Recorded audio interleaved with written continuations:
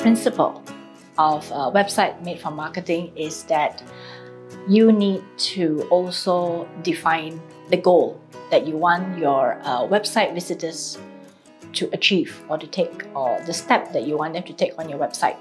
So the key thing for this is that sometimes in many websites, there are too many things or too many actions that the website visitor can take. So in, in a way, it confuses them because they're not too sure what they're supposed to do when they land on your website. You tell them many, many things and you tell them all these fabulous things about uh, your services and your products. But eventually, the website visitors need to do something on your website. So in most cases, uh, most people think that the logical goal for any website visitor is to buy from them. So how do you buy from them? Okay, if you're an e-commerce website, you expect the person to click and add to cart and check out. Okay, that's one.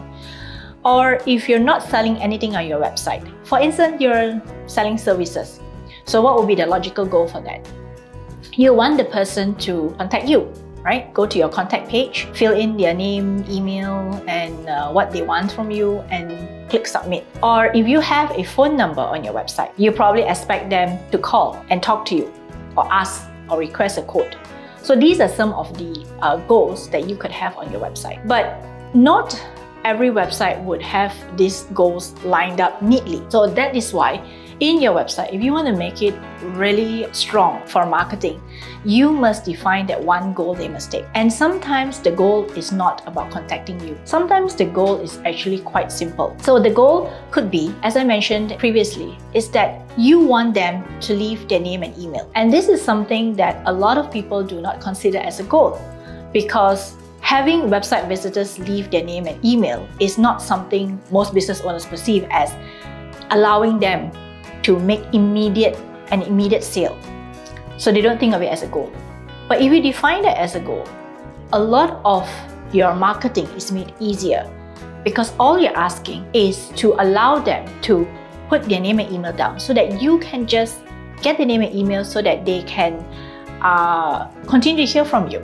So that is actually a very logical uh, step in a website made for marketing because you don't expect someone to immediately buy from you. They don't know you yet and they don't even know who you are.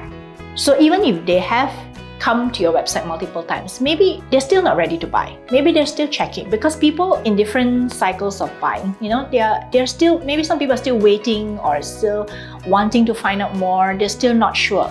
So the only way for you to continue communicate with them is to make sure that they leave their email.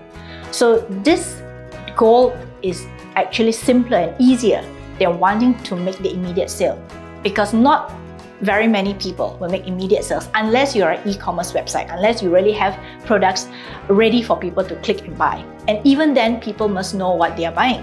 So in this case, defining your goal, make it a simple one. Make it as simple as possible. Just ask them to leave their name and email. And how do you do that? So in order for them to do uh, to leave their name and email, you must give them a reason to do so.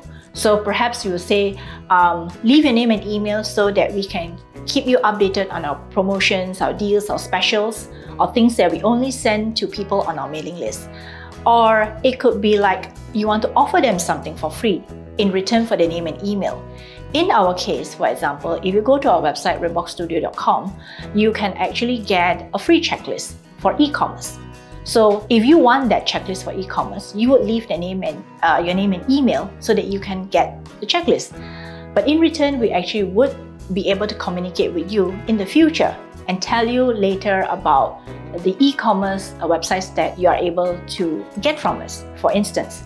So these are some of the things that people don't think of because they immediately want to make the sale, but it is not that direct. So we want you to have a goal. So that is principle number four.